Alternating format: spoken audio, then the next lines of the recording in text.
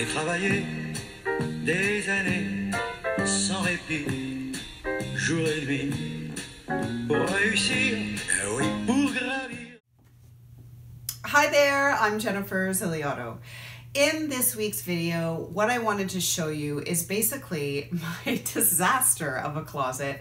If you're like me and find at this point of year it's time to do a little bit of a spring clean, today I wanted to show you how I do that and basically how I shop my closet so that I put together few great looks for the switch of the season, getting ready for spring and changing it up a little bit so I can get out of this winter style rut and ready for something new.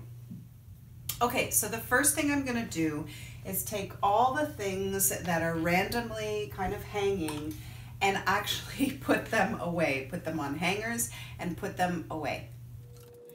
Pour réussir, oui, pour gravir, oh oui, le sommet.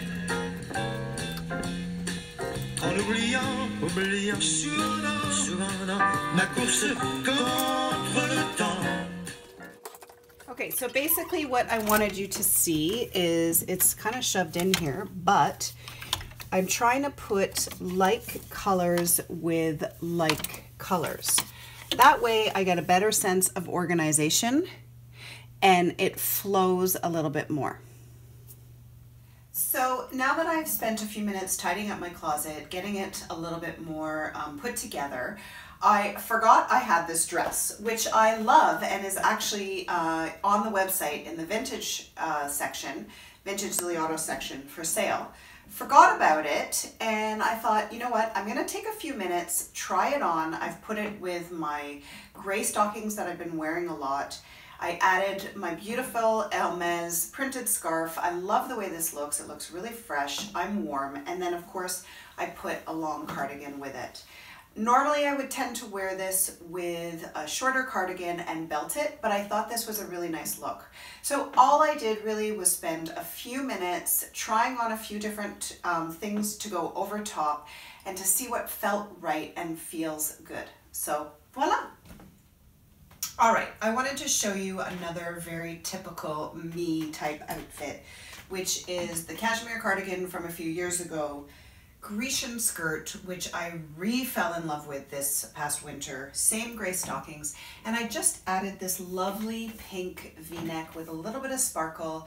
I feel warm, which is key. This outfit looks a little bit brighter. I put a beautiful, um, colorful Anne Marie Chagnon bracelet and this looks like a really simple yet put together outfit and is a little bit brighter than all the darks I've been tending to wear this winter. I just wanted to um, mention a really great tip that I do often with you when um, I'm going through your closets and helping you organize things.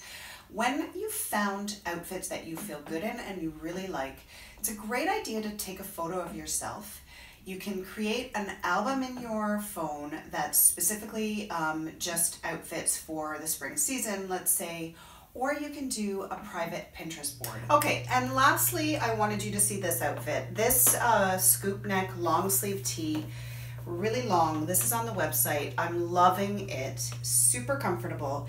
And I paired it with the striped pencil skirt. I have not worn this striped pencil skirt for quite a while, and it's such a great one.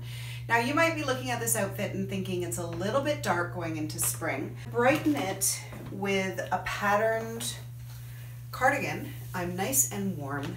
This looks really, really put together, super comfortable. And again, like I feel like I could wear this going to work or to meet a friend, something, an occasion that's a little bit dressier. And if I wanted, I could add a belt here and I think it's equally fantastic. Love the simplicity of this. And this has actually been fun. My closet, honestly, it took me about 15 minutes to put things back together, or in order rather, and um, it was fun. I hope this video was helpful. If it was, please give me a thumbs up. Don't forget to subscribe to my YouTube channel. And of course, you can comment down below. I love hearing from you. And as always, for more style ideas, you can follow me on Facebook, on Instagram, and check out my Pinterest. J'ai travaillé des années sans répit, jour et nuit, pour réussir,